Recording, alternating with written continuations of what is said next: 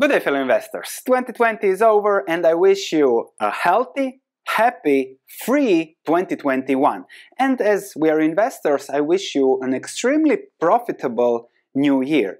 Talking about performance, the best performing fund over 2020 was ARK Invest. 150% over one year, that's a remarkable performance. So we are going to look at that because it explains the market, how investing works these days, what are the risks and what drives investment returns, which is the key to know if you want to do something similar. And then you'll see whether ARK's strategy, nothing bad with it, very smart, works for you or there are other strategies that might be better suited for you. If you wish me also a happy new year, just click that like button as it helps the YouTube algorithm and supports the channel. Thank you very much. So let's start with ARK Investments. Uh, recently, a week ago, a Bloomberg interview with Cathie Wood came out half an hour. I urge you to watch it because it's a perfect example of how the business of investing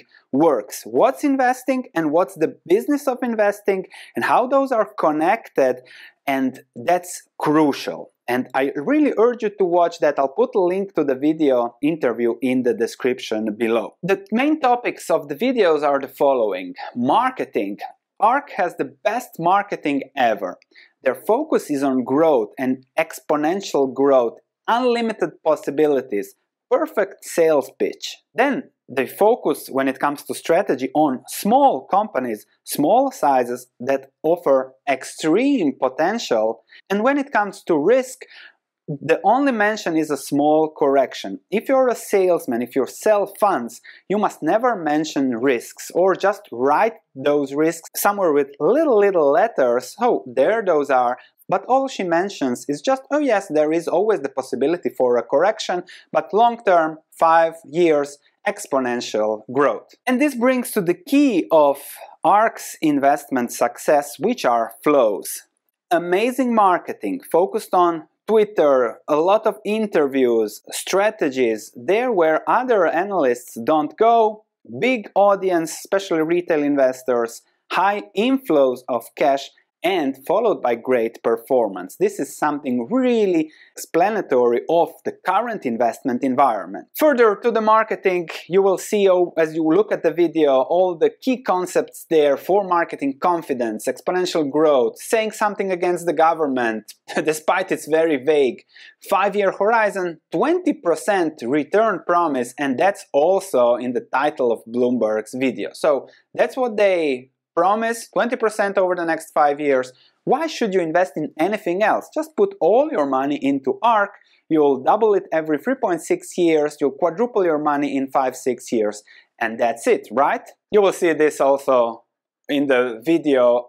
I feel our portfolios are filled with Amazons. Of course, Amazon did greatly, so that's the best marketing sales pitch. This is further explained by the retail trading boom that has happened really, really amazing over 2020 and ARK with the interviews, with the social media exposure really nailed that let's say market. Then something interesting, she also mentions credibility, so how she has been in the business for 40 years, how she bought Amazon in 2002 even if I wonder, if I look at her performance, it hasn't been much better than the S&P 500 up to 2009 there is just this difference. Don't know whether they sold or went into bonds and then they went back and that was all the difference in performance. Returns prior to ARK have been not that special 4 5% over 10 years so Cathie Wood will not be the next Buffett because Buffett has been doing it for 50 years without new inflows of funds, which is extremely important. And she has been doing it for five years, of which just three were really profitable because of flows. Talking about flows, there is great data explaining how the market and ARK's performance works. So this is December 23, so a week there from Eric Balchunas from Bloomberg. ARK funds each got a billion in positive inflows. So that's really staggering to look at. And if you look at the month's performance and that week when they got a billion, they went from 123 quickly to 135. So for a fund, that's a great performance in a week of what where we are 11%. Similarly for the other ARK fund, 94 to higher where we are 105, 10% up. That's staggering performance. With 1 billion in, into the fund, their value went up 10%. So 1 billion of positive flows increases the value of the funds by 10%. That's key to understand because longer term, the cash flows for ARK were 9.5 billion over the year. They say now how the assets under management are 50, depending on the day, 50 billion, but 5, 10 billion of inflows increase the return. 1 billion increased 10% on smaller, smaller capital base earlier. The 10 billion pushed it up 20, 30, 50, 100%. I'm arguing that the complete performance of ARK Invest is just due to flows. Let me show you. So let's look at ARK Innovation ETF. Let's look at the holdings and let's really discuss, okay, one small cap stock, CRISPR Therapeutics, that they have a billion invested and 6.3 million shares held. If you look at the stock there when ARK got a billion in, 148 going up to 173. That is 17% up. If we look at ARK's exposure it's 5.6% of the fund. So they got in a billion, 5.6%, 5% is 50 million. 50 million invested in CRISP increased the stock by 16.5%. If we look at the market capitalization of 11 billion, lower it 1.5 billion. 50 million of inflows increase the market capitalization for 1.5 billion. So that's 30 times. $1 invested in such a small cap increases the market capitalization of such a company by 30 times, creates market value of 30 times higher, and that's how ARK performed. Marketing flows performance. Performance, beautiful marketing, and it's a circle that works amazingly. And as we said, over the year, 9.5 billion of inflows. And if we look at ARK's position in CRISP Therapeutics, Cathie Wood, so she in November, the last quarter of November, added 1 million shares. Then we have 1.3 million shares in Q1. We have added, what is this? Q2, 2.2 million shares we have seen 2 million shares adding over the Q3. We don't have yet the data for Q4, but I bet it will be staggering because of the inflows. And if you look at the company, the revenues, we are at revenues that are practically what? I don't know if this is correct, but this should be correct. 65 million shares. ARK Fund has, on such a small company, 10 percent of the company. They will, uh, one day, if they continue, will be the largest shareholder. They will decide on how to manage the company, which creates a risk for the future because these small caps, when the things inverts, it will get ugly. Nevertheless, one year performance, look at this staggering performance because of ARK's buying. 2018 also great performance and if we go back to 2018 look ARK buying buying a little bit and here the real bulk of shares.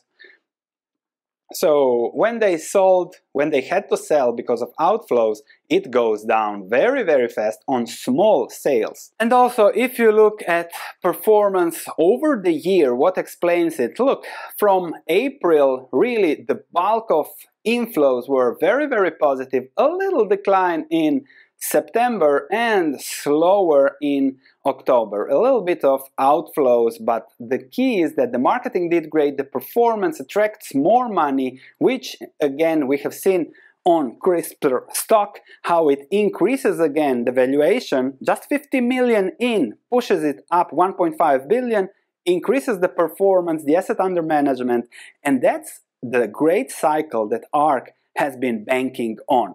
Really smart, really amazing, remarkable investing strategy. Not investing, speculating strategy. Really hats off. Okay, here the market was crashing, low inflows. Then you see September, lower inflows, and immediately down as the market, similarly in end of October. And now we have also had the first outflows, and immediately you see this decline as the outflows started, the first outflows this year, and that's a huge decline of what, almost 10%. And we have discussed this by discussing the inelastic market hypothesis that on a market perspective says that if one dollar of flows gets into the market, market capitalization increases five dollars. But with ARK, if one dollar comes in, the market capitalization of the stock, especially these small stocks with 60 million shares and fixed small floats, increases 10, 20, 30 times. And that's how the performance is done. Check that video also, I'll put a link in the description below on the inelastic market hypothesis. Perfect explanation of this market. So I would argue that the big chunk of ARK's performance is not from fundamentals. Yes, those businesses are growing, but I looked a little bit through their portfolio and that's price to sales ratios of 50, 100, banking on promises of growth, etc. That works as long as it works. We have seen it and we'll discuss more about that in the risk so that you also know the risk side of the investment style. It's not just about corrections, it's a little bit more. Before discussing the risk that also explains the market risk because it's all about flows these days, just to show the fundamentals and then you see that it's all about flows. If we look at the dividend yields, 1.6% in the United States, a little bit higher in Canada, lower flows of course. Everything is focused on the United States. If you go to emerging markets, a little bit higher dividends, Australia, franked dividends, so a little bit higher yield there, still good. Russia 7.7%, Europe very low, low dividends. But still better than the market and still better than many stocks that don't even pay a dividend. Because if you look at history, 99.7% of returns from 1920s till 2010 was made of inflation and dividends. There have been booms and busts and great booms and great growth prom promises, but those didn't deliver sustainable long-term investment returns to shareholders. That's key. This time might be different with ARK, but I'll let you decide whether it's different or not. Why is that? Because if something performs greatly during the first 15 years, based on flows, based on promises, based on whatever, over the next 15 years, it performs badly. So good performance, bad performance in the future. Because when it doesn't reflect in the fundamentals, profitability, dividends, asset value, whether it's when it's just on promises, then what is forecasted is mean reversion. When that mean reversion will come, nobody knows. That's again a strategy in favor of ARK. As long as they can play the game, they'll be great. So when it comes to strategies for 2021, a great strategy might be to just follow ARK. Not even ARK. I would go for the smaller cap stocks that have less liquidity, less float, because as inflows come into ARK, those which shoot up, you can make 50% just like that. That's one strategy, but you have to keep in mind the risks. And here we can talk about the risks currency hedging craze, also inflows, great returns, but as the craze passed, everything went down. Janus 20 fund exploded in the 1990s, the Nasdaq exploded in the 1990s based on promises, 100 times sales or no sales, and it all mean reverted. 2000s CGM fund exploded and then you see the assets under management, huge inflows that really increase this virtuous cycle upward. But when things turn, just a little bit of outflows really make it very, very bad. And again, inflows, outflows, it doesn't really help. This is the danger also with ARK. If there are outflows in one year, and they are forced to sell the positions in crisp or something like that. Okay, they are actively managed, so they will try to sell the largest floats and that, but that increases the risks long term because when they are forced to sell the smaller caps, the lower float, the inelastic stocks, this will look very, very ugly. And it's not just retail investors. Don't think it's just retail investors. Big investment banks create products that the client wants. And if there is a client from who knows where, Saudi Arabia, with 100 million, he says, I want to bet on ARK 10 million, then JP Morgan will react. So they are creating you only live once bets on ARK ETFs, structured notes combined with debt and derivatives. Nobody remembers the 2000s. Structured notes combined with debt and derivatives. Does it ring a bell? Oh no, there is no risk. The risk is a correction, right? It's up to you to decide how you invest your money. I'm just here to discuss the pros and cons. Risk reward is this channel. Boring as hell, but over the long term, trust me, it works. Further, if we look at margin changes, in 2020 huge margin bets as the market goes up more money goes into everybody gets greedy margin increases increases increases.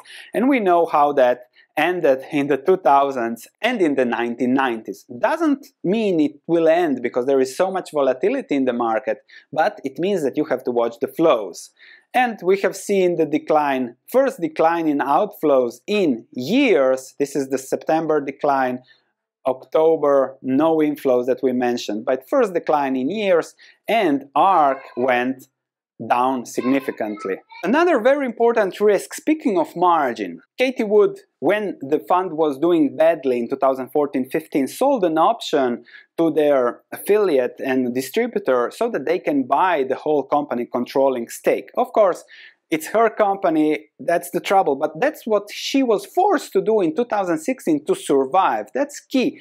And now there was a battle of ownership. Of course, without Cathie, the company is worth much, much lower. So they came to an agreement, but Wood repurchased the option for an undisclosed sum. The transaction was financed through a multi-tranche term loan financing facility. So Cathie Wood took debt to buy her own company and she will have to perform to get the stake to keep being an owner of the company. That might really skew her risk and reward. She might take more risk so that she has the money to pay the multi-tranche term loan. Those are extremely risky situations to be for an asset manager because Warren Buffett never had to worry about finances for the last 50 years, he made rational investment decisions. She had terrible times the first two years, funded her own with the fund with her own money, sold an option to partners to survive, and now she has debt that forces her, her to perform to finance a loan on her company. Extremely risky behavior from underlying business fundamentals, but you live only once, so why not play the heck with it? And you can do the same when it comes to strategy, as I said, follow the flows, follow arcs, follow the Fed's flows, the stimulus flows, going into markets. Uh, I'll talk about cash because I get so many questions. Sven, we are sitting on cash, what to do now with the market up already? So I'll make a video about that. Don't forget to subscribe if you haven't. And then we'll discuss many stocks that I think are still good in this environment. And we'll talk about stocks because the second strategy for 2021 is okay, follow the flows, but the second is stick to the fundamentals. Those are not great, but globally, there are some places with good fundamentals, and that will also be my focus in 2021. I have to increase my portfolio of followed stocks to 20 stocks so that I learn as much as possible about them. And there are fundamentals. It won't be exciting as ARK's business, the growth, the genomics, the promises, the revolution. It won't be that. It will be freakingly boring investing. And as the greatest trader and fund flow follower of all time says, George Soros, if investing is entertaining, then you're doing something wrong. Thank you for watching, click that like button, looking forward to your comments, and I'll see you in the next video.